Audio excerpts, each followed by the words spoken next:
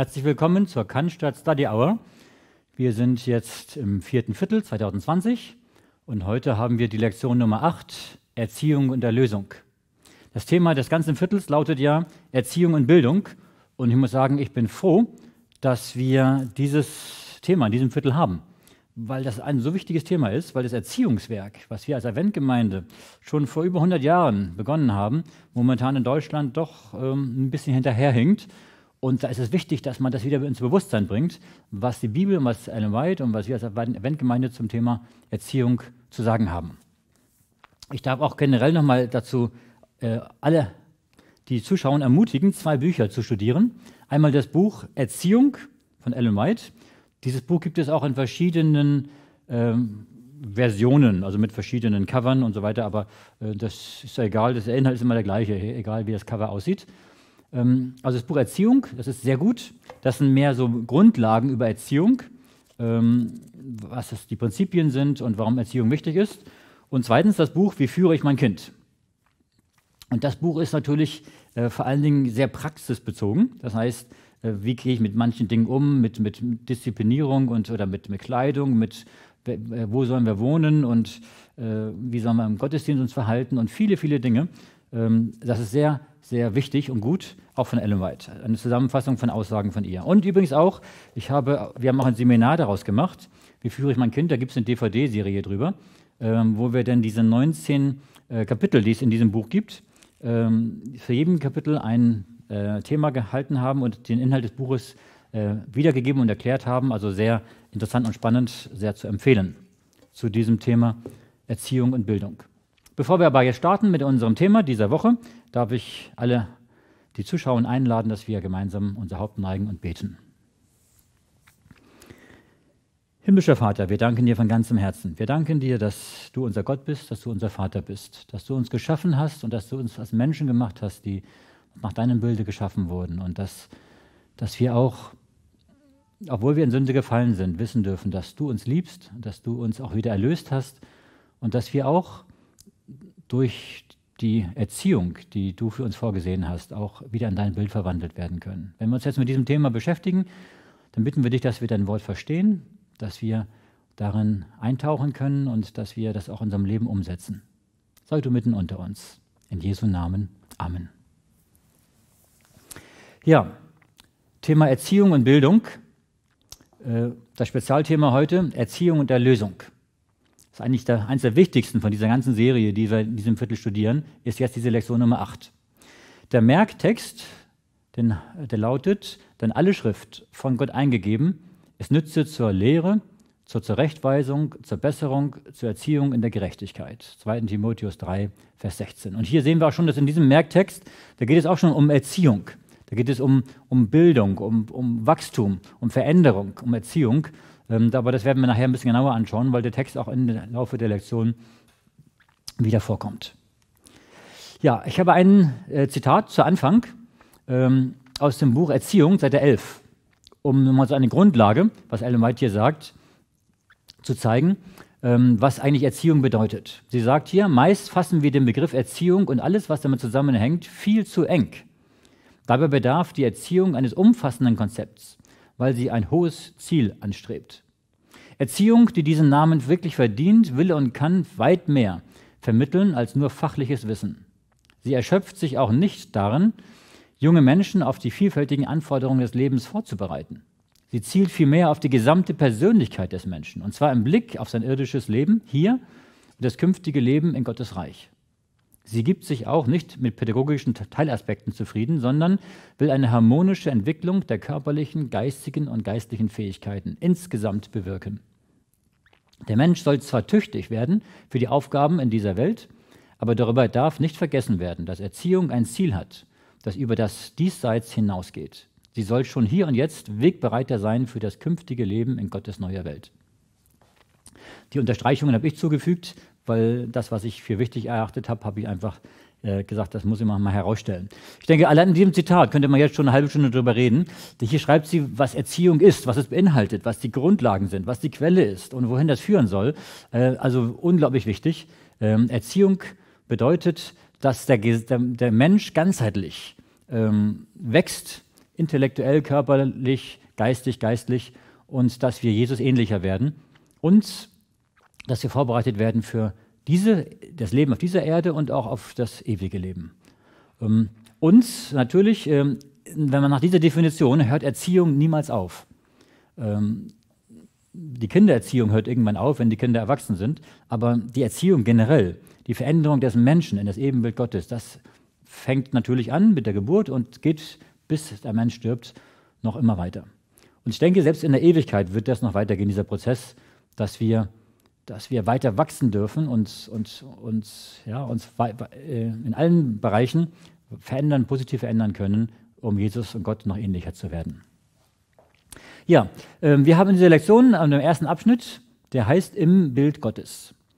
Und da lesen wir die angegebenen Verse. 1. Mose 1, Vers 26 und 27 und 1. Mose 5, Verse 1 und 3. 1. Mose 1, 26 und 27. Und Gott sprach, lasset uns Menschen machen, ein Bild, das uns gleich sei, die da herrschen über die Fische im Meer und über die Vögel unter dem Himmel und über die, das Vieh und über alle Tiere des Feldes und über alles Gewürm, das auf Erden kriecht. Und Gott schuf den Menschen zu seinem Bilde, zum Bilde Gottes schuf er ihn und schuf sie als Mann und Frau. Ja, hier haben wir schon mal die Grund, grundlegende Aussage, dass Gott den Menschen zu seinem Bild geschaffen hat. Das heißt, ähm, dass wir ihm ähnlich sind. Was das bedeutet, gucken wir uns gleich genauer an. Und dieses Bild Gottes hat der Mensch verloren, denn als nachher der Mensch gefallen war, in Sünde gefallen war und dann ähm, sie weitere Kinder bekommen haben, steht folgendes: 1. Mose 5, Vers 1 und Vers 3. Dies ist das Buch von Adams Geschlecht. Als Gott den Menschen schuf, machte er ihn nach seinem Bilde, nach dem Bilde Gottes. Und in Vers 3 steht, und Adam war 130 Jahre alt und zeugte einen Sohn, ihm gleich, nach seinem Bilde und nannte ihn Seth. Interessant, äh, Adam ist gemacht worden nach Gottes Bild. Er hat diese Gottesbildlichkeit ein Stück weit verloren, als sie gesündigt haben. Und der Seth, der dann geboren wurde, hier steht, er war nicht mehr nach Gottes Bild, sondern er war nach Adams Bild gemacht. Das heißt, hier sehen wir schon eine Abstufung, eine Veränderung, die gekommen ist. Ähm, was heißt das, nach dem Bild Gottes geschaffen zu sein? Das ist sehr schwierig, das wird nämlich hier nicht ganz genau beschrieben. Ähm, das ist erstens natürlich körperlich. Natürlich ist es klar, dass Gott von seinem Körper her ähm, wesentlich größer ist und mehr ist, als wir es sind. Nämlich, Gott ist in höheren Dimension. Aber ich glaube, wenn man sich, wenn man Gott in unsere drei Dimensionen hineinpressen wollte, dann würde er ähnlich sein, wie wir auch ähm, sind. Es gibt auch einige Texte im Alten Testament, wo es deutlich heißt, wo der Psalmist sagt, ja, sollte Gott, der das Auge geschaffen hat, nicht alles sehen können, oder Gott, der das Ohr äh, geschaffen hat, sollte er nicht alles hören können. Also das heißt, wenn Gott Augen und Ohren und Nase geschaffen hat, dann wird er selbst auch Augen, Ohren und Nase haben, um auch diese Funktionen, Körperfunktionen auch äh, ausführen zu können. Aber natürlich ist Gott wesentlich größer und mehr. Ähm, aber wir sind ein Stück weit sicherlich nach Gottes Bild geschaffen. Ähm, auch rein körperlich. Ähm, obwohl natürlich das nur auf unsere drei Dimensionen beschränkt, während Gott in höheren Dimensionen lebt. Ähm, das Bild Gottes ist sicherlich auch geistig gemeint. Das heißt, dass wir Verstand haben, dass wir scharf denken können, dass wir unterscheiden können. Ähm, das ist sicherlich unsere Fähigkeiten gemeint, Kreativität, schöpferisch tätig sein zu können, moralisch, moralisches Empfinden zu haben. Das sind alles Dinge, äh, die, denke ich, wichtig sind, ähm, Gott kann aus dem Nichts etwas schaffen, das können wir nicht. Wir brauchen etwas, um etwas zu schaffen. Aber der Mensch kann auch etwas schaffen. Der Mensch kann etwas hervorbringen, etwas kreieren, etwas Dinge, mit Dingen arbeiten und dadurch Dinge erschaffen, die es vorher nicht gab. Ähm, und natürlich ist, hat der Mensch moralisches Empfinden. Das heißt, er kann wissen, was gut und böse ist und er kann entscheiden, Entscheidungen treffen und äh, entsprechend auch sein Leben danach ausrichten. Das sind alles, denke ich, Dinge, die uns zeigen, dass wir nach dem Bild Gottes geschaffen wurden. Und natürlich auch, dass, dass äh, wir soziale Wesen sind, dass wir Liebe geben können und Liebe empfangen können. Ähm, uns das alles hat der Mensch ein Stück weit verloren, als er in Sünde gefallen ist. Durch den Sündenfall wurde das verändert. Denn hier trat auf einmal anstelle von Liebe, anstelle von Harmonie und Einigkeit und äh, trat auf einmal ähm, Sünde und, und Uneinigkeit und, ja, äh, auf. Und jetzt hat Gott eben den Erlösungsplan sich ausgedacht, um den Menschen wieder nach dem Bild Gottes wiederherzustellen. Dass der Mensch wieder Gott ähnlich werden kann. Denn ich denke nicht nur, dass der Mensch in Sünde gefallen ist, dass er schuldig wurde, das ewige Leben damit verloren hat, ähm, sondern sein Wesen hat sich verändert. Sein Charakter hat sich verändert. Seine Natur hat sich verändert. Das heißt, der Mensch hat jetzt seit dem Sündenfall einen Hang zum Bösen. Er hat jetzt auf einmal ähm, dieses, dieses, äh, dieses, dieser Egoismus in sich. Und dieser Egoismus zerstört eigentlich Beziehungen, er zerstört die Freude, das Glück, er zerstört weiteres Wachstum. Ähm, und das sind alles Dinge, die, ja, die seit dem Sündenfall den Menschen belasten. Ähm, ich habe einige Aussagen aus dem Buch Erziehung, ähm, wo Ellen White das sehr genau schildert. Zuerst mal, die, dass der Mensch zum Bilde Gottes geschaffen wurde, was sich dann verändert hat und dass das durch die Erlösung das Bild Gottes wiederhergestellt äh, wird im Menschen. Hier erstmal ein Zitat aus dem Buch Erziehung, Seite 13. Dort heißt es, wenn wir Wesen und Ziel wahrer Erziehung richtig verstehen wollen, müssen wir uns mit der Wesensart des Menschen beschäftigen und danach fragen, mit welcher Absicht Gott ihn geschaffen hat. Die Heilige Schrift bezeugt, dass der erste Mensch zum Ebenbild Gottes geschaffen wurde. Adam war zwar nur ein Geschöpf Gottes, aber er war seinem himmlischen Vater in jeder Beziehung ähnlich. Und je länger die ersten Menschen lebten, desto mehr sollte sich Gottes Wesen in ihnen widerspiegeln und entfalten. Der Schöpfer hatte sie mit einer Fülle von Fähigkeiten ausgestattet, die es fortan auf einem schier unerschöpflichen Betätigungsfeld zu entwickeln galt. Das ist interessant, was, was Ellen White hier sagt. Sie sagt, äh, Adam war am Anfang, als er geschaffen wurde, Gott, in, Gott und dem, ja, dem himmlischen Vater in jeder Beziehung ähnlich. Das heißt körperlich, geistig, seelisch, äh, geistlich. Und ähm, diese Ähnlichkeit zum Bilde Gottes geschaffen, heißt nicht, dass er jetzt fertig war. Natürlich war er fertig und sündlos, aber er sollte noch weiter wachsen können. Und das werden wir übrigens in der Ewigkeit auch. Wir werden in der Ewigkeit immer noch ohne Ende weiter wachsen können und zunehmen in Liebe, in, im, im, Wissen, in, in, der Kenntnis, in allen Dingen. Und das war am Anfang bei Gott, bei den Menschen auch so. Ähm, die Fähigkeiten sollten sich entfalten, durch Gebrauch verbessert werden äh, und, und immer sich weiterentwickeln. Aber es hat sich was verändert. Wir lesen ein weiteres Zitat. Erziehung, Seite 15. Wir alle sind als Ebenbilder Gottes angelegt und geschaffen worden.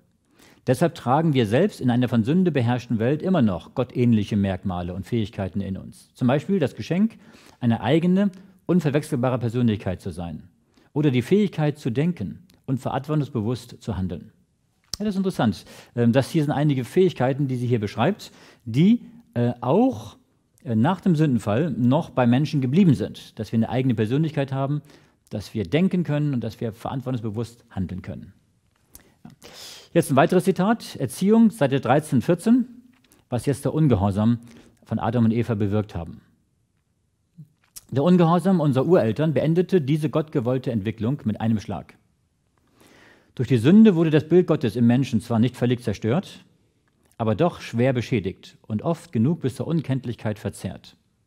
Seine physische Natur wurde geschwächt, die geistigen Fähigkeiten nahmen ab, seine geistliche Wahrnehmung verkümmerte. Hinzu kam, dass sich das, dass sich das zu Glück und ewigem Leben bestimmte Geschöpf plötzlich als Todeskandidat wiederfand.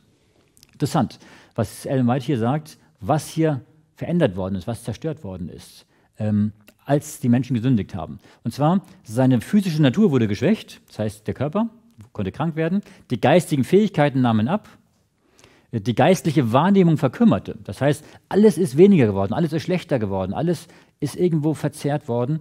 Und von daher ist es so, dass, ähm, dass der Mensch eigentlich gar nicht mehr in der Lage war, mit Gott Beziehung zu haben, untereinander eine glückliche Beziehung zu, zu führen. Alles hat sich irgendwo verschoben, vertauscht. Und ähm, der Mensch war eigentlich, man kann sagen, ähm, auf sich selbst gestellt, war ein, äh, wie am Ende heißt, ein Todeskandidat. Ja. Denn nicht nur, dass er schuldig war im Sinne von einer gerichtlichen Schuld, dass er am Ende nicht mehr das ewige Leben haben konnte, sondern auch, dass, dass er nicht mehr in der Lage war, sein Leben richtig auf die Reihe zu kriegen, glücklich leben zu können. Äh, und das war nur möglich dadurch, dass Gott eingegriffen hat und dass Gott auch wieder ähm, die Erlösung für ihn gebracht hat, den Erlösungsplan ausgedacht hat und ausgeführt hat. Ein weiteres Zitat aus dem Buch Erziehung, Seite 14. Aber trotz ihres Ungehorsams überließ Gott die Sünder nicht hoffnungslos sich selbst. Weil er sie trotz allem liebte, wandte er sich nicht von ihnen ab, sondern setzte den Erlösungsplan in Kraft. Damit empfing der Mensch Leben auf Bewährung und die Verheißung, dass Gott einen Weg finden würde, auf dem der Sünder wieder zur ursprünglichen Ebenbildlichkeit Gottes zurückfinden, zurückgeführt werden könnte. Darum geht es bei der Erlösung. Das ist zugleich auch das Ziel der Erziehung und des Lebens. Interessant. Das Hauptziel der Erlösung und auch der Erziehung, schreibt Ellen White hier, ist, dass der Mensch zur ursprünglichen Ebenbildlichkeit Gottes wieder zurückgeführt werden kann. Und dazu sind mehrere Dinge not notwendig. Erstens, es ist notwendig, dass uns die Schuld vergeben wird. Denn ohne Vergebung der Schuld können wir nicht ähm, von unserer Belastung durch Gewissen und der, der, der moralischen Last nicht leben.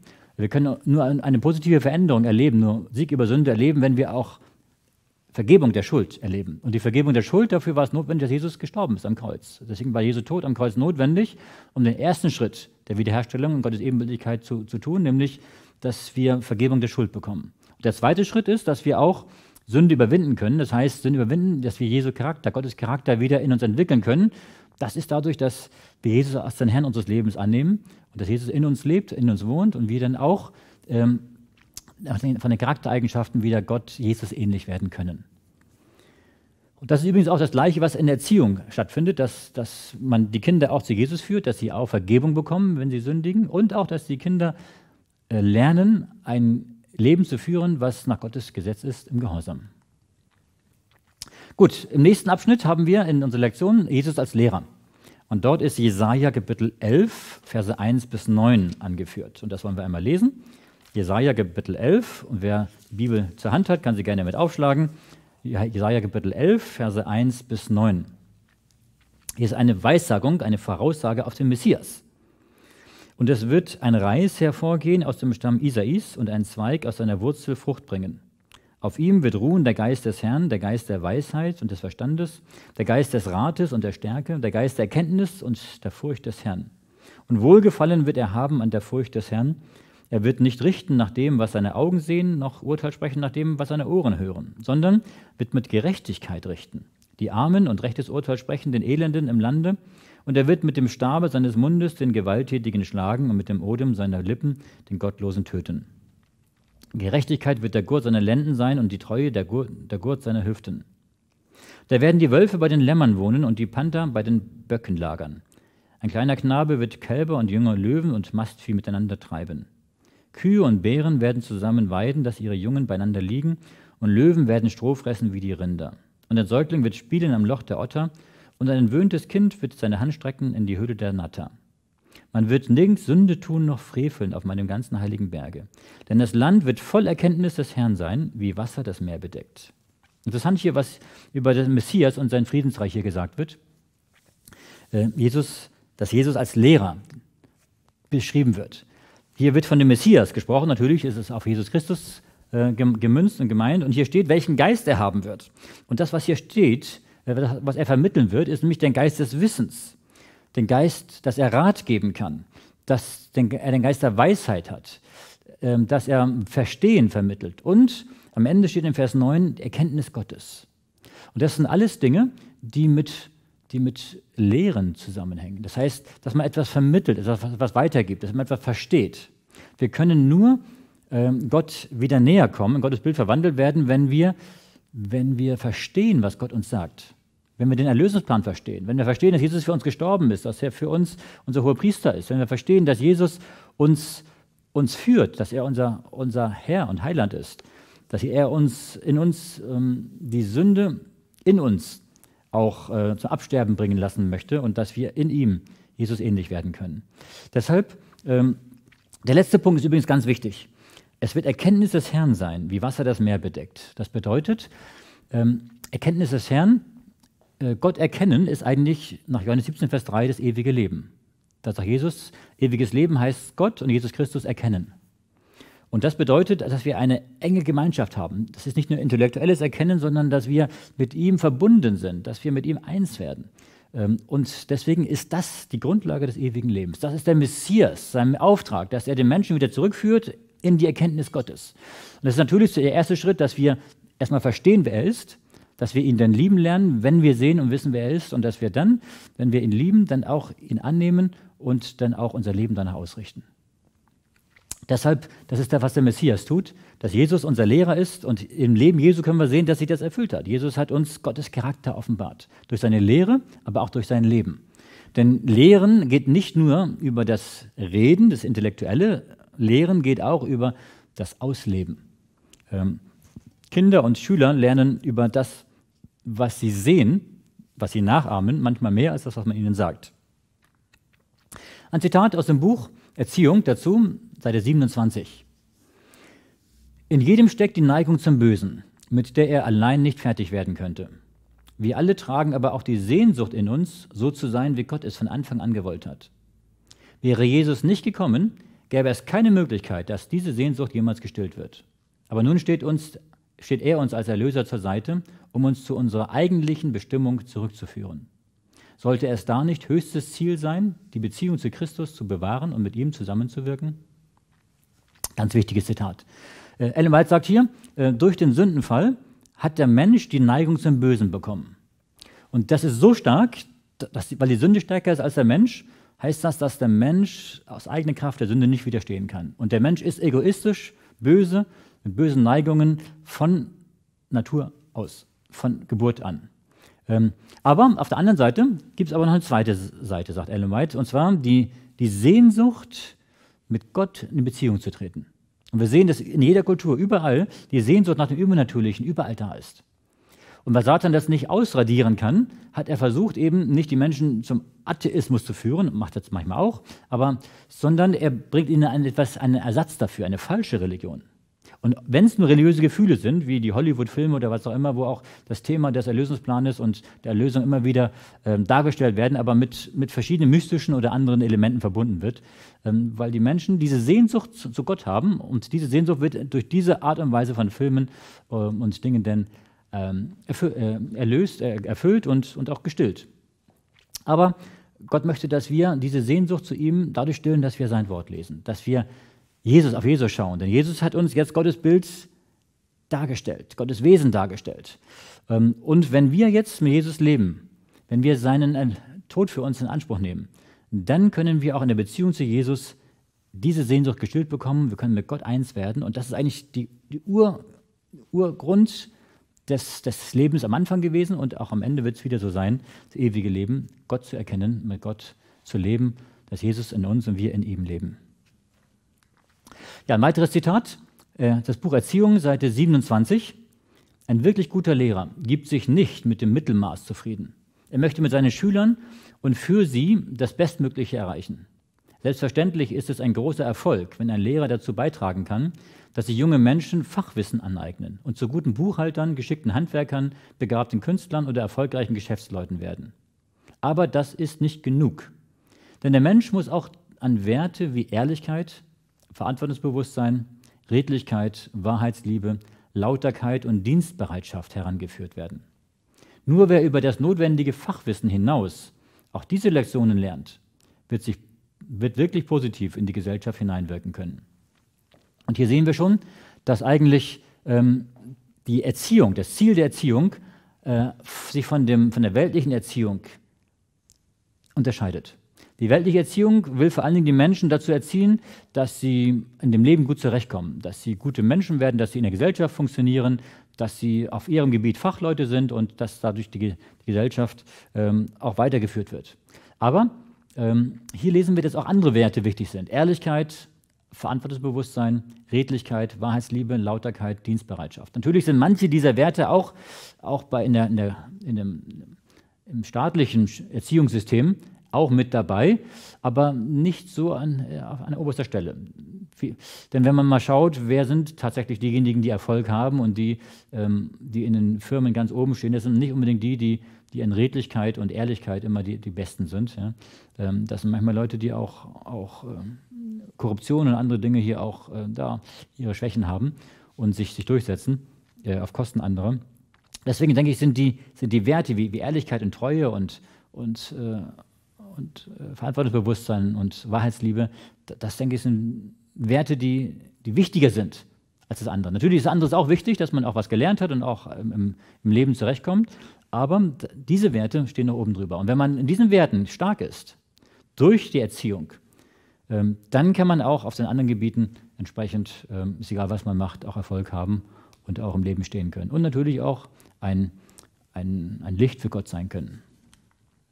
Weiteres Zitat, Seite 27, Erziehung. Die lebendige Beziehung zu Christus lässt diese ethischen Grundsätze zu einer Kraft werden, die den Charakter des Menschen formt. Wer sich für Christus entscheidet und bei ihm bleibt, dem öffnet sich damit eine Quelle der Weisheit, wie er sie nirgendwo sonst findet.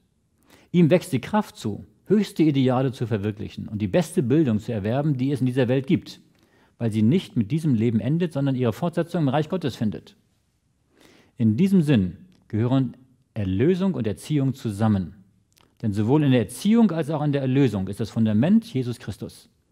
Niemand kann ein anderes oder gar besseres Fundament legen. Ja, ähm, das ist, denke ich, das ein Zitat, was, was wir sicherlich auch kennen, dass nämlich Erlösung und Erziehung eins sind, das gleiche sind. Warum? Und hier beschreibt sie das. Sie sagt, ähm, wichtig ist, dass wir eine Beziehung zu Jesus haben und durch die Beziehung zu Jesus werden wir im Charakter Jesus ähnlicher werden. Ähm, und dadurch sind, wir an der Quelle der Weisheit, weil Jesus ist die Quelle aller Weisheit, die Bibel und auch ähm, Jesus Christus selbst. Und diese Weisheit ist mehr als alle Weisheit dieser Welt.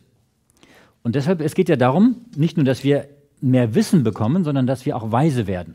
Was ist eigentlich der Unterschied zwischen, zwischen Wissen und Weisheit?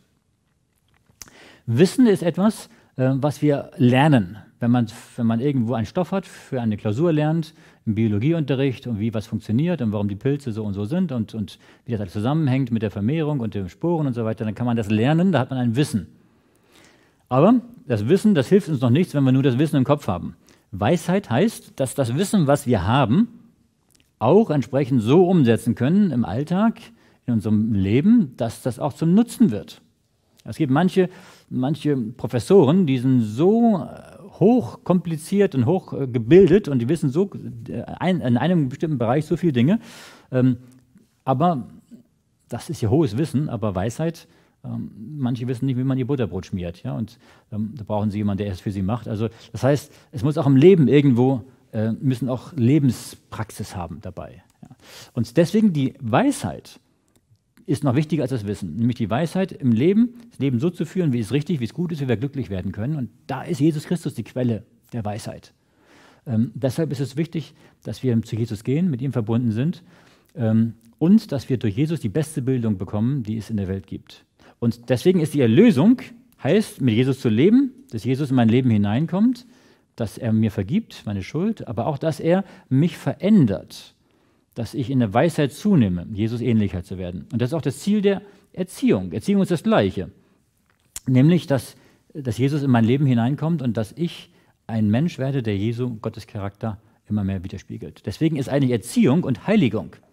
Eigentlich ist das der Begriff, der, der, die, die Seite der Heiligung, die in der Erlösung mit der Erziehung gleichzusetzen ist. Denn Erziehung heißt ja auch, dass wir die Kinder so erziehen, dass sie zu guten Menschen heranwachsen, ähm, dass sie in der Heiligung Fortschritte machen. Und zwar in der Heiligung durch die Kraft Gottes. Denn auch Kinder brauchen die Kraft Gottes, um ihr Leben zu verändern.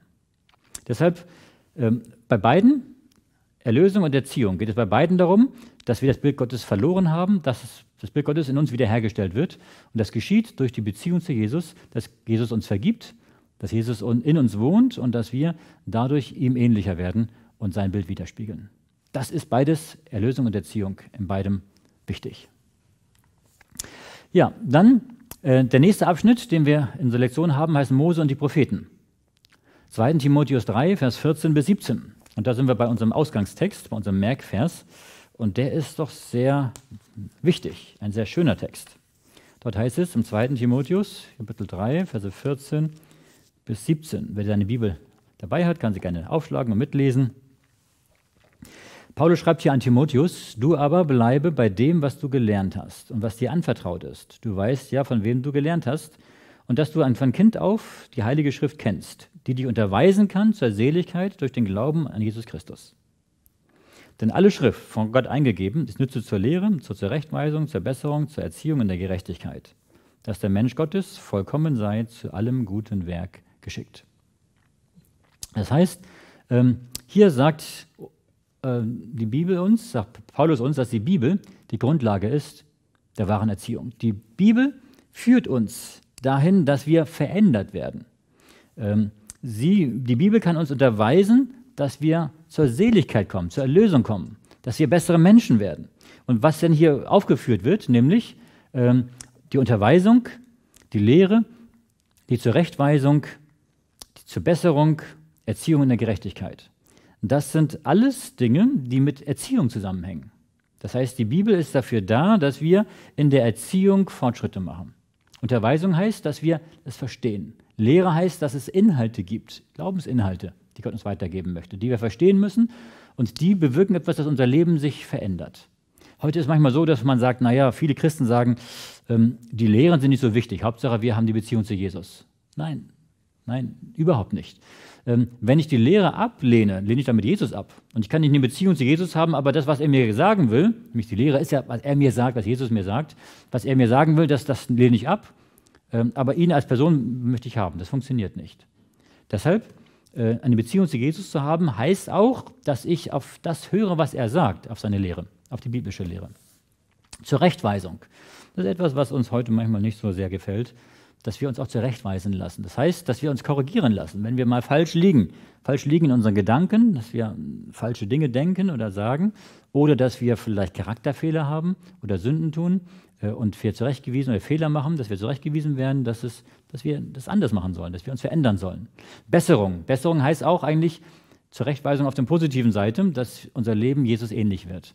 Und Erziehung in der Gerechtigkeit heißt auch, eigentlich sind viele Dinge, die, die überschneiden sich teilweise in ihrer Bedeutung dass wir durch die Gerechtigkeit, wenn wir in Jesus leben, ähm, bekommen wir die Gerechtigkeit zugerechnet durch die Vergebung, aber auch, dass wir in der Gerechtigkeit wachsen, dass unser Charakter sich immer mehr äh, Jesu Charakter angleicht, ähm, durch Erziehung, durch Veränderung, durch Heiligung.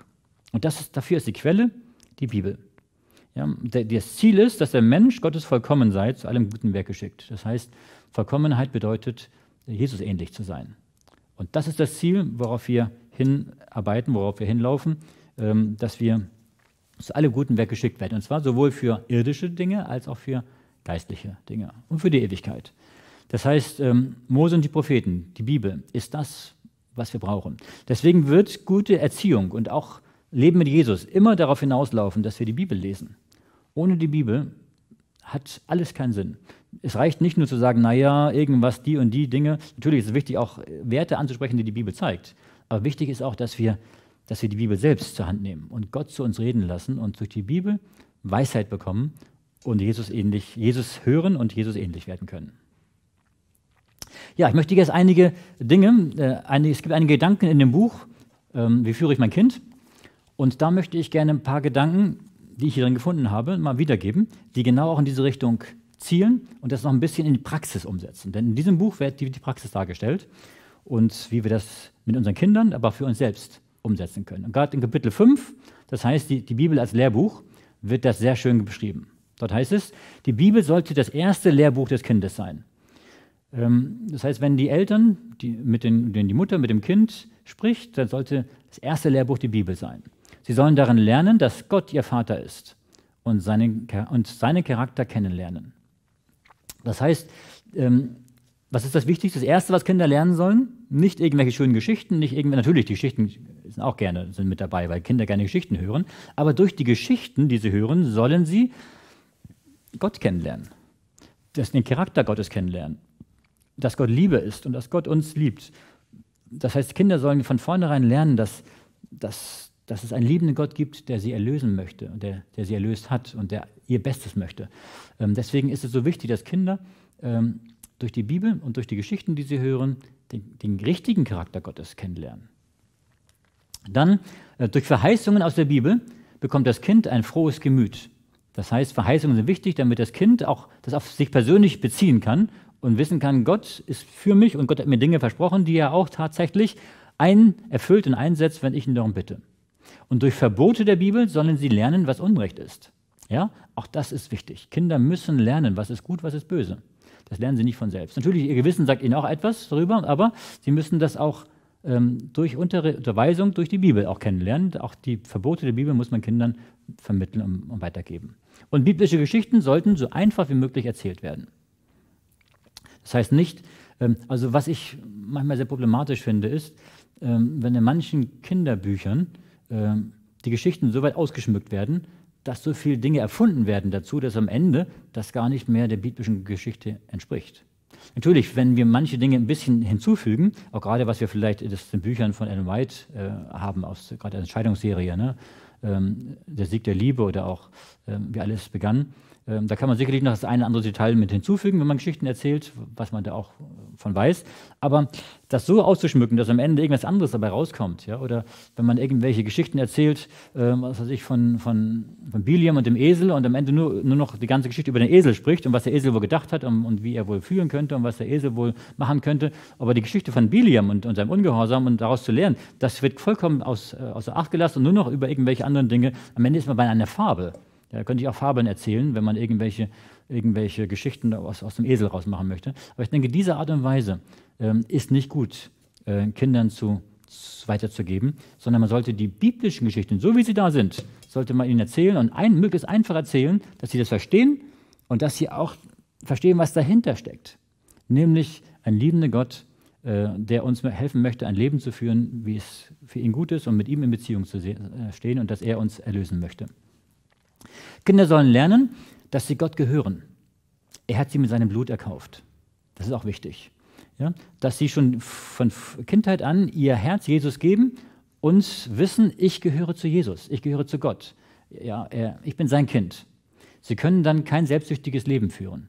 Das heißt, ähm, dass sie von klein auf lernen, ähm, die Selbstsucht zu überwinden. Warum? Weil wenn sie mit Jesus leben, dann ist Jesus für sie das Wichtigste und nicht ihr, eigene, ihr eigenes Leben, ihre eigenen Bedürfnisse, ihre eigenen Dinge, die sie nur auf sich sich selbst fixiert sind, sondern dass sie auf, auf Jesus fixiert sind. Und das hilft ihnen, ähm, dass das ganz für sie normal ist, in ihrem Weltbild, in ihrem Gottesbild, das mit einzubinden. Für die Kinder ist das ganz normal, dass es einen Gott gibt und dass, dass sie mit ihm, äh, mit ihm leben und dass sie auch zu ihm beten, wenn sie ein Problem haben und dass es für sie ganz in diese Richtung geführt werden, dass es für sie zum normalen Alltag dazugehört. Sie sollen ihre Abhängigkeit von Gott lernen. Und das lernen Kinder ganz schnell dass sie merken, es gibt einen Gott und ich bin von ihm abhängig und ich kann mich in allen Dingen an ihn wenden. Biblische Geschichten und Verheißungen zeigen ihnen, dass Gott immer bei ihnen ist und ihr Leben führt. Äh, ob das Daniel ist, die Geschichte von Elisa oder Paulus, ähm, das heißt, dass, oder Psalm 34, Vers 7, das ist auch ein sehr schöner Psalm, ähm, wo auch Gott hier ein, eine Verheißung gegeben hat, die auch Kinder schon in ihrem Herzen haben können und auswendig lernen können. Auch Kinder lernen sehr schnell und sehr, sehr gut. Und zum Beispiel Psalm 34, Vers 7, dort heißt es, äh, als, einer, als, als, einer im Elend rief, hörte der Herr und half ihm aus allen seinen Nöten. Ja. Das heißt also, dass es, äh, oder in Vers 8, der Engel des Herrn lagert sich um die her, die ihn fürchten und hilft ihnen heraus. Das sind alles so Verheißungen, die, äh, ja, wenn die Kinder das wissen und lernen und auch erfahren und auswendig lernen, das hilft ihnen, dass Gott diese, diese Geborgenheit in Gott zu haben, dass Gott immer bei ihnen ist und dass Gott ihr Leben führt. Ein Zitat aus dem Buch Wie führe ich mein Kind, Seite 24. Äußere Umstände können Sie, die Kinder, von ihren Heimen trennen. Aber die Unterweisungen, die ihnen in der Kindheit und Jugendzeit gegeben wurden, werden ihr ganzes Leben lang segensreich sein. Das, das ist wichtig. Ja. Was wir den Kindern mitgeben können, ist, dass sie, ähm, ja, dass sie Prinzipien lernen, Unterweisungen haben, die für ihr ganzes Leben ihnen zum Segen wird. Hier habe ich mal so ein Modell äh, dargestellt, und zwar, ähm, wie ist, wenn wir es jetzt auf die Schule übertragen, wie ist der normale Lehrplan? Der Lehrplan, den wir in den normalen Schulen haben, sieht so aus. Ähm, wir haben die Naturwissenschaften, Mathe, Physik, Chemie, Geografie, Biologie und so weiter. Wir haben die Humanwissenschaften, Geschichte, Psychologie, Kunst, Literatur, Religion. Wir haben die Sprachen, Deutsch, Englisch, Französisch, Italienisch, Latein und so weiter. Und wir haben praktische Fächer, Sport, Handwerk, Kochen, Instrumentalmusik und so weiter. Uns äh, normalerweise ist es so, dass die Bibel, wenn sie überhaupt eine Rolle spielt, dann nur als eine untergeordnete Rolle in dem Bereich Religion spielt. Das heißt, wenn Religion unterrichtet wird, dann kann man auch über die Bibel sprechen. Aber selbst bei vielen Religionsunterrichten, die man heute in Schulen hat, äh, spielt die Bibel gar keine Rolle mehr, sondern da äh, tut man mehr über andere Religionen oder über moralische, ethische Grundsätze sprechen, aber nicht mehr über die Bibel. Also ich habe noch, weiß ich noch, als ich in der Schule war, äh, richtig Bibelunterricht gehabt, in der Schule, Religionsunterricht. Da haben wir über Abraham gesprochen und über, über, über, über das Volk Israel und über Mose und über all die ganzen biblischen Geschichten haben wir gesprochen. Und das war noch, war noch Bibelunterricht. Aber das ist heute, wird heute immer weniger. Ja. Aber dieses Modell, denke ich, ist das Schul- das, das, das Modell der staatlichen Schulen und denke, das ist nicht das, was Gott vorgesehen möchte. Wir haben gelesen, dass eigentlich die Bibel die Grundlage sein sollte. Auch für, auch für die Schule sollte die Bibel die Grundlage sein für alles. Da könnte jemand sagen, okay, Modell B, B wäre so, äh, Bibel und Religion exklusiv. Das heißt, Bibel als ausschließliches Lehrbuch für alle Fächer. Äh, das kann natürlich ein bisschen schwierig werden, weil ähm, wie kann ich äh, den Kindern Geografie über Amerika äh, oder über, über, über Australien äh, zeigen, was in der Bibel gar nicht vorkommt? Das heißt, ähm, natürlich ist es das, das Ideal, ähm, dass die Bibel für alles mit herangezogen wird, aber man kann das praktisch so umsetzen, denke ich, im Modell C, indem man das, ähm, die Bibel als Grundlage und als Kontext benutzt. Nämlich, dass sozusagen die Bibel, das ist dunkelgelbe außenrum, die biblische Perspektive ist das, was alles umfasst was alles durchdringt und was von allem auch ähm, äh, erklärt wird. Und dann haben wir die Naturwissenschaften, Mathe, Physik, Chemie, Geografie, Biologie. Sicherlich ist es auch möglich, Schulbücher zu haben, äh, wo, wo jetzt mathematische Aufgaben drin sind. Aber ähm, es sollte immer einen Bezug zur Bibel haben. Und die Bibel sollte sozusagen das sein, was das erklärt und was, was, was den Deutungsrahmen gibt für das, was man lernt. Das gleiche für die Humanwissenschaften, Geschichte, Psychologie und so weiter, äh, für die Sprachen und auch für die praktischen Fächer, dass die Bibel die Perspektive und den Deutungsrahmen gibt, äh, womit alles gesehen wird, durch die Brille der Bibel alles gesehen wird und erklärt wird. Und ich denke, das ist das, was, was, ähm, was in, der Praxis, in der Praxis heute ähm, ähm, möglich ist und auch anwendbar ist, den Kindern das so beizubringen. Ja. Ähm, nach dem typischen Lehrplan auf der linken Seite haben wir die Literatur, die man lesen muss. Äh, und dann sagt man, okay, die Bibel ist auch ein Teil der Literatur und tut sie irgendwo in einer Ecke, irgendwo teilweise mit dabei oder teilweise außerhalb ähm, mit einbeziehen, wenn überhaupt noch. Ich denke, ähm, mit dem biblischen Kontext auf der rechten Seite müssen wir es so sehen, dass man die Bibel hat als biblische Perspektive, als das grundlegende Buch für alles und dass man dann die Literatur, die man dann liest, die natürlich ausgewählt sein muss, das geht auch nicht alles, was auch nicht jede Literatur ist, ist zielführend und ist tatsächlich auch, auch bildend, dass man die Literatur, ähm, die Bibel mit, mit aus dem Blick der Bibel liest ähm, und was Literatur auch vermittelt, auch durch die Bibel wieder bewertet. Also deswegen ist die Bibel der Deutungsrahmen für alles, was man liest und für alle Literatur und für alles, was dazu kommt. Und da denke ich, das ist wichtig, dass man das in diesem Sinne tut. Ähm, denn die Kinder sollten durchaus auch wissen, was in der Welt gesagt wird oder was in der, äh, in der Evolutionstheorie gesagt wird. Aber das muss eben gedeutet werden und erklärt werden durch das, was die Bibel sagt. Das war nur ein kurzer Exkurs äh, über das, was die Schule sagen. Was, warum die Bibel die Grundlage auch ähm, der Erziehung und auch der schulischen Bildung sein sollte. Kapitel 6 in dem Buch, Wie führe ich mein Kind, heißt das Buch der Natur. Und das hängt mit der Bibel sehr, sehr eng zusammen. Deswegen habe ich das hier mit eingefügt. Dort heißt es, Neben der Bibel sollte die Natur unser großes Lehrbuch sein. Das heißt, ähm, die Natur zeigt auch uns Dinge über Gott. In der Bibel offenbart Gott sich uns, in der Natur auch. Natürlich in der Bibel noch mehr deutlicher, indem er, äh, indem er etwas sagt, aber in der Natur können wir etwas erleben, selbst erfahren. Und auch in der Natur können wir Gott erkennen. Und das ist eine wichtige Aufgabe der Eltern oder auch der Lehrer, der Erzieher, dass sie den Kindern das vermitteln können. Und dazu müssen Sie selbst erstmal drüber nachdenken, wo finde ich den Gott in der Natur? Ja. Ähm, die Schöpfung wurde gemacht, um göttliche Dinge darzustellen. Das heißt, wir können den Gott in der Natur sehen, dass Gott die alles geschaffen hat, dass er uns liebt und die Schönheit der Blumen und den Duft der Blumen und alles. Ja. Adam und Eva hatten durch die Natur mit Gott Gemeinschaft. Die Natur ist ein Punkt, wo man, mit, wo man Gott treffen kann. Deswegen sollte man auch, wenn man in die Natur geht, auch öfter darüber nachdenken, ähm, wer Gott ist und wie Gott ist und, und Gott in der Natur begegnen. Ja. Kinder sollen an Blättern, Blumen, Steinen und so weiter die Geheimnisse des Lebens erforschen. Natürlich können sie es auch erforschen in, in irgendwelchen Biologiebüchern, äh, aber noch besser ist es, wenn man mit ihnen rausgeht und ihnen eine Eichel äh, zeigt und dann die Eichel aufmacht und dann durchschneidet und dann an dem praktischen Beispiel dessen, was man jetzt vor, Ort hat, dass die Kinder daran lernen. Ja. Ähm, und Kinder sind, entdecken gerne. Sie erforschen gerne. Ja, deswegen kleine Kinder, die bleiben an jeder Ecke stehen und, und heben da ein Steinchen auf und gucken da und treten in jede Pfütze rein und gucken, was passiert, wenn man da reintritt. Also die Kinder sind, sind, äh, wollen wissen, was, was passiert. Gerade in der Natur sind sie sehr kreativ und sehr, sehr auf, auf Lernen äh, geeicht. Und das kann man nutzen. Natürlich hat durch den Sündenfall die Natur sich verändert. Und auch das müssen Kinder erkennen. Erkenntnis von Gut und Böse ist auch in der Natur sichtbar. Das heißt, dass es Naturgewalten gibt, dass es Stacheln gibt an den Kakteen oder äh, an den Brombeeren, äh, Stacheln gibt oder dass es auch Überflutungen gibt und dass es auch, auch Stürme gibt, die etwas zerstören. Ja. Das Kind lernt auch die unschönen Seiten der Natur kennen.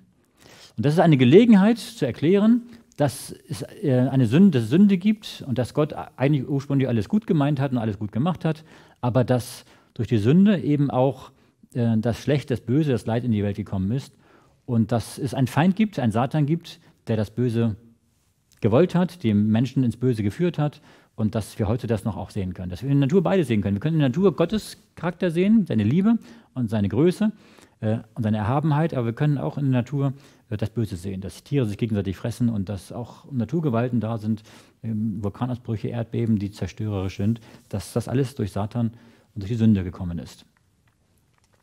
Kinder können in der Natur Beispiele finden, die die biblischen Lehren deutlich machen. Das heißt, man kann sich überlegen, wenn man selbst denn, ähm, in der Natur ist, wo haben wir, äh, wo haben wir äh, Gleichnisse in der Natur.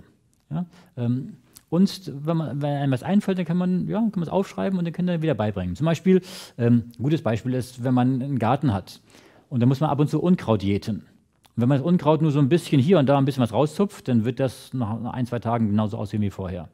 Das Unkraut muss richtig entfernt werden, mit Wurzeln und allem drum und dran, damit es auch weg ist. Natürlich kommt trotzdem wieder neues Unkraut, aber ähm, wenn man das nicht richtig entfernt, dann, dann wuchert das Unkraut so viel und so schnell, dass es alles andere überwuchert und, und alles andere erstickt. Und so ist auch in unserem Leben, dass man sagen kann, okay, wenn wir die Sünde in unserem Leben dulden und nicht, nicht rausreißen, dann wird das, die Sünde irgendwann alles andere überwuchern und ersticken und die wird unser ganzes Leben bestimmen. Und so muss wie das Unkraut auch die Sünde aus dem Herzen entfernt werden und auch gründlich entfernt werden mit mit Wurzel und allem drum und dran, dass es auch verschwindet. Ähm, und so gibt es einige Beispiele, die man aus der Natur einfach übertragen kann auf das tägliche Leben. Ihnen ist die Aufgabe gegeben, den Kindern, aber auch den Erziehern, den Eltern, Vergleiche aus der Natur zu finden, die Jesus darstellen. Ja? Und das hat Jesus ja auch sehr häufig gemacht. Er hat Gleichnisse erzählt und auch Gleichnisse aus der Natur, wo wir Jesus in der Natur finden. Ja. Ähm, so werden sie an allem, in allem Schönen der Natur an ihn erinnert. Das heißt, dass wir erinnert werden an, an Gott. Und wenn man dann irgendwo, äh, zum Beispiel, wenn man, wenn man eine Schafherde sieht, ne, und dann kann man sehen, okay, Jesus hat gesagt, ich bin der gute Hirte. Und wenn Sie damals eine Schafherde gesehen hätten, damals gab es viele Schafherden, dann haben Sie sich gleich geändert, ach, Jesus, der gute Hirte, wie sind die Schafe? Ja, also von daher, ähm, heute haben wir vielleicht weniger Schafherden, heute müsste man sich andere Dinge überlegen. Wo finden wir heute Gleichnisse in der Natur, ähm, die auch Jesus darstellen können? Dadurch wird die Erde nicht ein einsamer Ort für sie sein, sondern ihr Vaterhaus, erfüllt mit Gottes Gegenwart. Das heißt, ähm, wenn die Kinder dann, ist egal, wo sie sind in der Natur, ob, sie in den Bergen sind, ob sie am Meer sind, im Urlaub sind oder zu Hause im Wald sind, ist egal, wo sie sind, Kinder können in der Natur ihr Vaterhaus erkennen. Dass sie sich wohlfühlen in der Natur, weil sie dort wissen, hier ist Gott, das hat Gott gemacht für mich und das ist etwas Gutes, was Schönes, was ja, wo ich mich wohlfühlen darf, was Gott zu meinem Besten gemacht hat. Ein Zitat, wie führe ich mein Kind, Seite 29. Alle sichtbaren Dinge sollen ihnen, den Kindern, eine Erklärung des Unsichtbaren werden und alle Begebenheiten des Lebens ein Mittel, um das Wesen Gottes zu verstehen. Schöner, schönes Zitat. Ja. Das heißt also, ähm, sie, sie sollen Gottes Wesen verstehen lernen. Darum darauf kommt es an, dass wir Gottes Charakter kennenlernen, dass wir wissen, wer ist Gott, wie ist Gott und wie können wir ihm ähnlich werden. Eltern sollten die Liebe zur Natur fördern. Und Kinder sind gerne in der Natur. Ähm, und man sollte gemeinsam mit den Kindern viel Zeit in der Natur verbringen. Und dazu müssen auch die Eltern natürlich auch bereit sein, mal aus dem Sessel zu kommen und rauszugehen ja, und mit den Kindern. Und immer nur spazieren gehen ist für die Kinder irgendwann mal langweilig, sondern man muss auch überlegen, was kann ich mit den Kindern machen. Ja? Irgendwelche irgendwelche besonderen äh, Forschungen äh, betreiben oder irgendwelche, irgendwelche Dinge mit ihnen unternehmen in der Natur, was für sie kreativ ist und was für sie spannend ist. Ja. Und von Gott erzählen, dass der alles das gemacht hat, was sie sehen. Besonders kleine Kinder sollen sich viel in der Natur aufhalten und dort frei spielen können. Ja.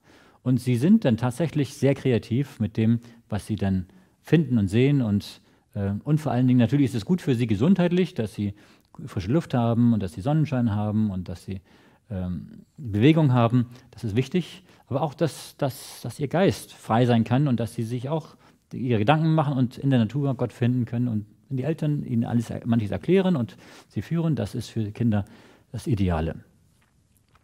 Das Studium der Natur stärkt die Verstandeskräfte. Das heißt, ja, wie jetzt hier auf dem Bild, ne? wenn, man das, wenn man einen Frosch gefunden hat, dann kann man sich den genau anschauen. Kann sagen, okay, wie, wie, äh, was macht der Frosch und warum hat er so große Augen und was macht es mit seiner Zunge und wie kann er quaken und es gibt so viele Dinge und die Kinder lernen und ihre Verstandeskräfte nehmen zu. Ja. Unser Denken ist oft durch das Lesen von erdachten Geschichten zerstreut und missbraucht. Und das ist nicht gut. Und ich würde, Ellen White hat damals vom Lesen gesprochen. Heute würde ich sagen, unser Denken ist noch viel, viel mehr missbraucht und zerstreut durch das Anschauen von erdachten Geschichten im Fernsehen. Ja, und wenn man Kinder von, von Fernseher setzt und sie nur erdachte Zeichentrickfilme oder andere Dinge sich anschauen, das, ähm, das ist für die Kinder Gift. Ja. Ihre Gedanken werden zerstreut und missbraucht. Sie sollen selbst aktiv die Dinge erleben äh, in der Natur. Ja. Deswegen Kinder sollten eigentlich in den ersten acht Jahren des Lebens sollten sie gar nicht Fernsehen schauen, überhaupt nicht, ja, weil das äh, ihnen nicht gut tut. Ähm, und man kann höchstens mit ihnen einen Film anschauen, den man mit ihnen gemeinsam anschaut, den man vorher aussucht und man genau weiß, das ist ein guter Film, vielleicht über die Bibel oder irgendetwas anderes. Aber ähm, lieber in die Natur selbst gehen. Selbst Filme über die Natur, warum muss man sich die anschauen? Geht doch selbst in die Natur. Und da hat man viel, viel bessere Sachen, die man selbst live erfassen und, und, und anfassen und, und erleben kann.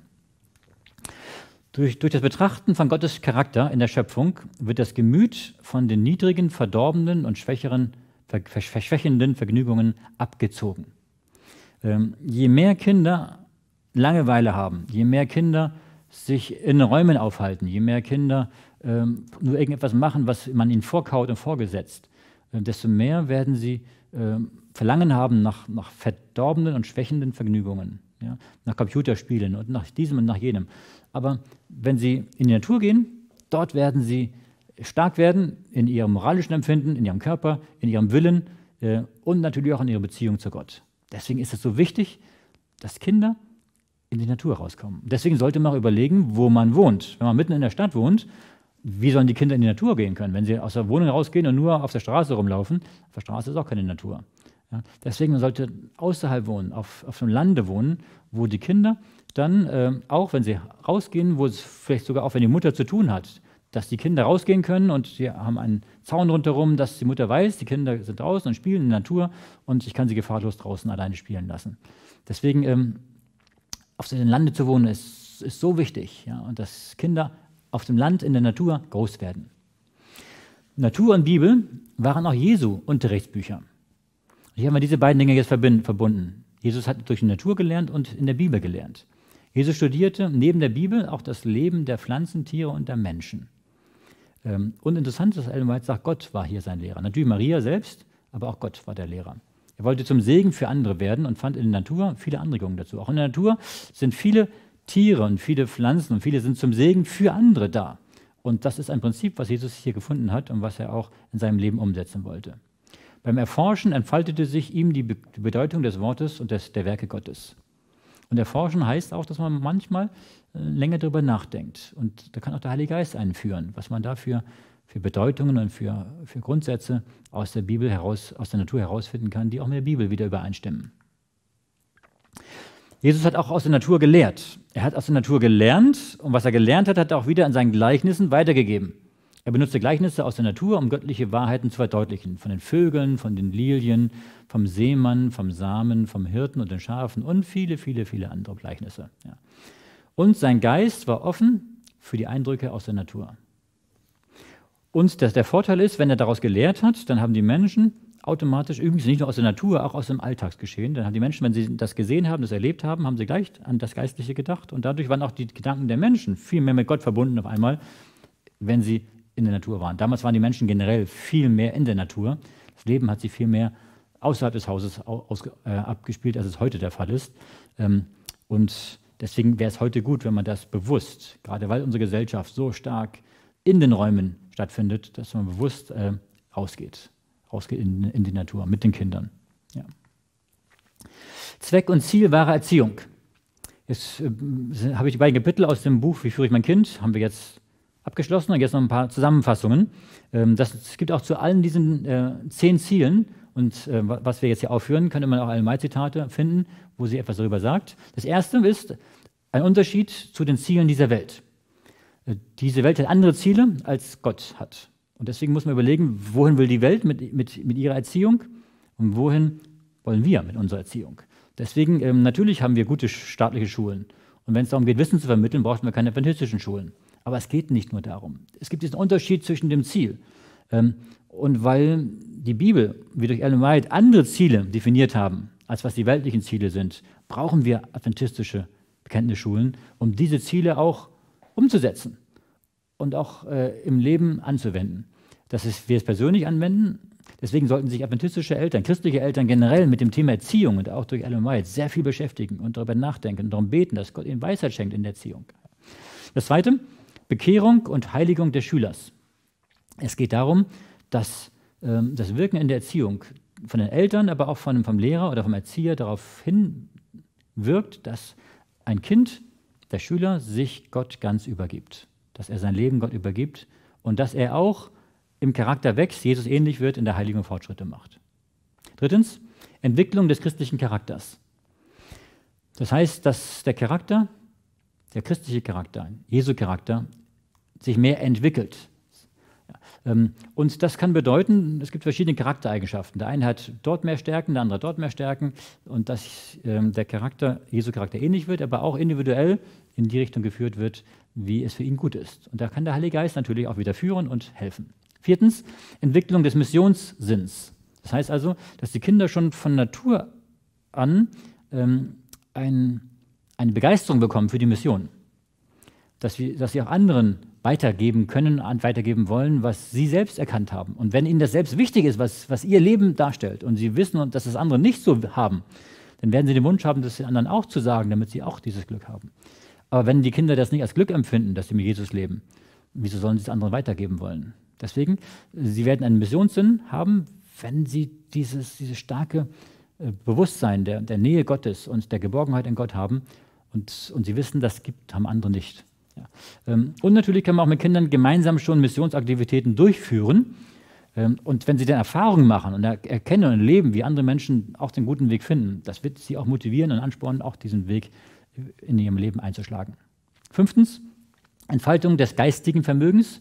Das heißt, dass auch äh, sie geistig äh, stärker werden, und zwar das Frontallappen gestärkt wird durch, durch auch gute Ernährung und gute, gute ähm, Verhaltensweisen, gute Lebensverhaltensweisen ähm, und dass man gut lernen kann und intelligent sein kann. Und ähm, es ist so, wenn man, wenn man einen guten, gesunden Lebensstil hat, dann kann man besser denken und das geistige Vermögen kann sich entfalten. Sechstens, Entfaltung der körperlichen Fähigkeiten. Das hängt eins mit anderen zusammen.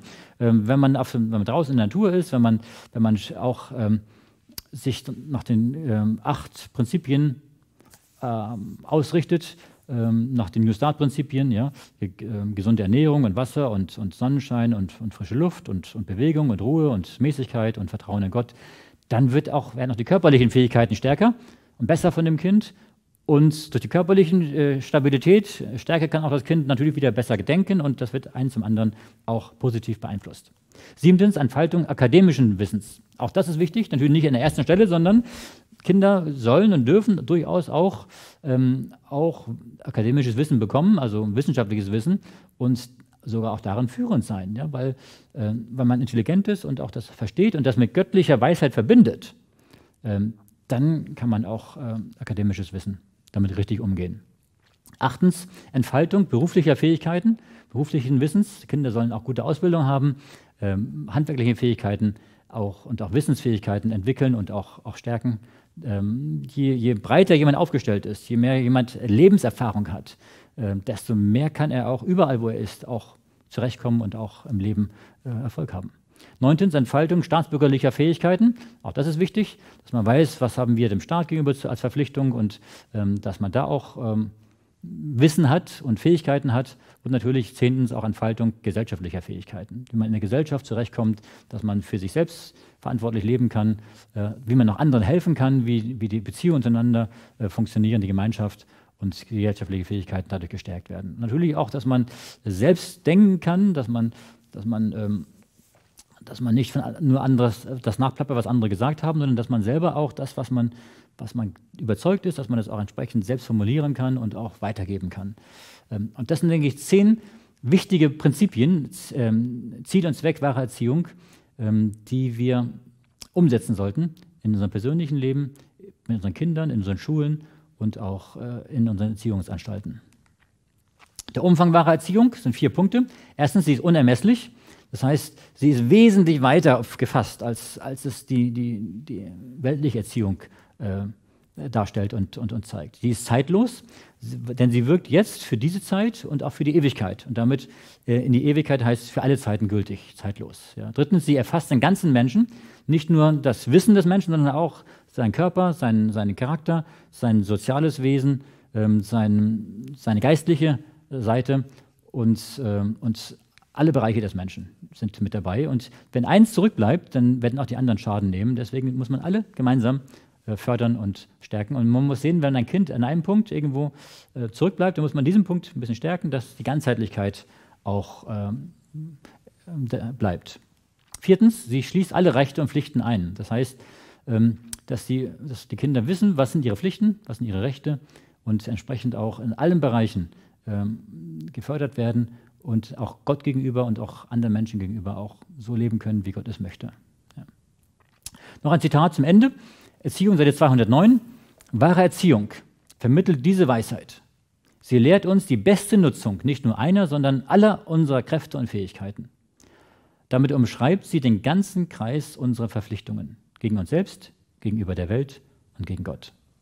Das heißt, alle Kräfte und Fähigkeiten, die wir haben, sollen äh, ganzheitlich gefördert werden. Und das wünsche ich uns, dass das uns gelingt bei unseren Kindern, dass uns das gelingt bei uns selbst, dass Gott uns erzieht, dass wir Jesus ähnlicher werden. Denn die Erziehung hört niemals auf, dass wir immer mehr äh, nützlich werden in dieser Welt, für andere Menschen, für Gott, für seinen Dienst und für die Ewigkeit. Deswegen, Jesus liebt dich. Er hat uns geschaffen. Er hat uns gemacht nach dem Bild Gottes. Und das war wunderbar. Es war vollkommen, als er uns geschaffen hat. Er hat uns erlöst. Als wir mit Sünde gefallen sind, hat er uns wieder erlöst, zurückgekauft aus, aus dieser Knechtschaft der Sünde. Er möchte in dir Gottes Bild wiederherstellen. Er möchte, dass wir wieder, dass du wieder Gott ähnlich wirst. Und deshalb sag Ja zu ihm. Er kann nur das Bild in dir wiederherstellen, wenn du es erlaubst, wenn du Jesus in dein Herz aufnimmst und wenn du ihn erlaubst, dich zu verändern. Und das ist das, was Erlösung und Erziehung als Ziel haben. Und das wünsche ich uns, dass das jeden Tag in unserem Leben auch passiert. Wir wollen zusammen beten. Herr Jesus, wir danken dir von ganzem Herzen. Wir danken dir, dass du, wir wissen dürfen, dass du uns geschaffen hast, dass du uns wunderbar gemacht hast, ohne Sünde und ohne Makel, uns mit, mit, der Grund, mit den Grundlagen und mit der Fähigkeit, dich zu lieben und äh, dass wir dein Bild getragen haben. Aber wir Menschen haben gesündigt und haben das Bild, dein Bild verloren. Und hab Dank, Herr Jesus, dass du für uns gestorben bist, dass du unsere Schuld bezahlt hast und dass wir durch deinen Sündentod Vergebung bekommen können, wieder mit dir Beziehung aufnehmen können und dass wir durch diese Beziehung mit dir auch wieder dir ähnlich werden können. Und ich bitte dich, Herr Jesus, dass du in mir und in jedem von uns dein Bild wiederherstellen möchtest, dass wir dein Bild widerspiegeln, dass wir deinen Charakter widerspiegeln, dass du uns helfen möchtest, auch in unseren Kindern, die so zu erziehen, dass sie dich lieben, dass sie dich in ihrem Herzen haben und dass sie dein Bild und dein Charakter auch widerspiegeln. Bitten dich auch für unsere Schulen, die wir haben, dass du auch dort helfen möchtest, dass die Schulen auch so ausgerichtet sind, dass auch dort die Kinder wachsen dürfen, die ähnlich zu werden, dass sie in allen Dingen zunehmen können, in ihrem Wissen, in ihrem Charakter, in ihrem geistlichen Leben und auch in ihrem körperlichen. Herr, so legen wir alles in deine Hände und danken dir, dass du alles getan hast, was wir brauchen und dass wir in dir diese Ziele erreichen können. In deinem Namen, Herr Jesus. Amen. Ja, das war das Thema Nummer 8. Herzliche Einladung zur nächsten Lektion, nächste Woche. Thema Lektion Nummer 9, die lautet die Gemeinde und Erziehung. Was hat die Gemeinde mit der Erziehung zu tun? Spannendes Thema. Bis dahin, Gottes Segen und auf Wiedersehen.